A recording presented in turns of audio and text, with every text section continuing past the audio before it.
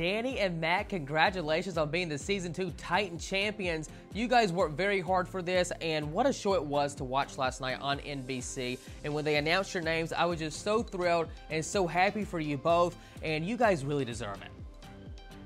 Thank you. Really appreciate that. Yeah, thank you so much. Yeah, absolutely. So, you know, what was going through you guys when you both knew that you won this thing? Let's start off with you, Dani.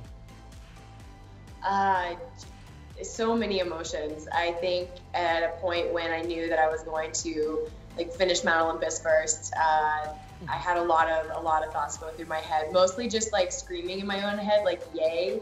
Uh, that was like, like just pure excitement. Um, but it was it was an awesome experience, and it was really cool to go and test you know skills that I've taken outside of this and like my life and my sport and bring it into something like this competition. And so it was a it was just great, still great, still kind of living in the moment. yeah. How about for you, Matt?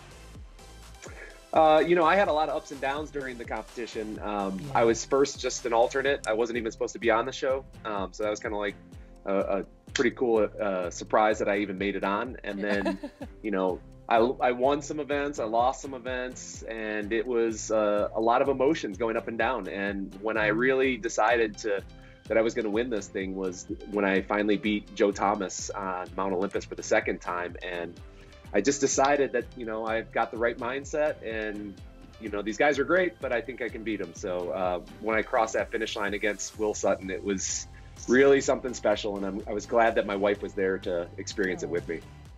Absolutely. I think that we did see a lot of ups and downs from not just you, but also Dani as well, and just all the contestants on this season of the show. But what was the biggest life lesson that you both learned from being part of Dwayne Johnson's The Titan Games?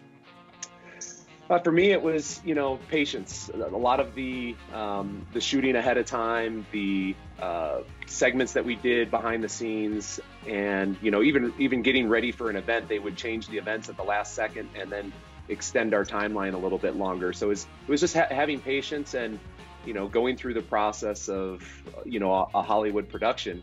Um, but really, like at the end of the day, doing what you know Dani and I know how to do well, which is compete, and yeah. that's what really we I just needed to focus on was doing my thing when the time came. What for you, Dani? I would have to really, I would have to agree with Matt. Is a lot of it was really just learning to go with the flow, and a lot of times in competition, you know, sometimes events are delayed or something won't go exactly according to plan during the event, and it was very much that on on set is they would say, okay, you guys are going to be up, and then you know two hours later we're actually up. So it was very much learning how to just be okay with the flow of somebody else's schedule and timeline uh, while competing. So just being prepared for anything and also being okay with being prepared for anything, I think is the biggest thing. Absolutely.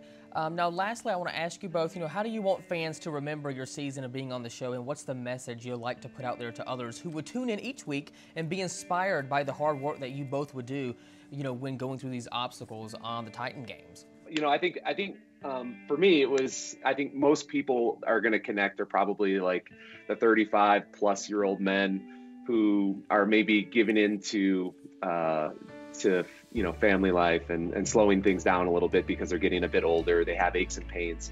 And i think if anybody connected with me on that level where you know i'm a 42 year old guy i've had bad knees for years my back's been injured multiple times but i still just keep pushing forward.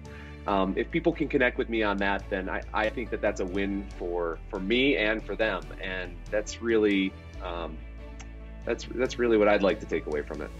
Very well said. How about for you, Dani? Uh, I hope that women of all ages were able to connect with me and find motivation and inspiration in their own lives and realize that you can come from a low spot in your life and achieve really great things. You just have to find something or something within yourself even that you're really passionate about and anyone can do it. Literally anyone can do it if you want it bad enough and you just got to take that first step. And I really hope that I can inspire and motivate anyone, any female or male, to just like take that first step in their own fitness journey or even their self discovery, self love journey, just anything that will help better their lives. I love that. Dani and Matt, congratulations again on being the Season 2 Titan champions. Uh, it was such a pleasure and honor to get to speak with you guys this morning. Thank you for your time and congratulations. And this can be like a little week long celebration for you both. Yeah, that's right. yeah. Count on it. Thank you. Thank you so much. Take care, guys. Have a good one. You okay, too. you too. Bye bye.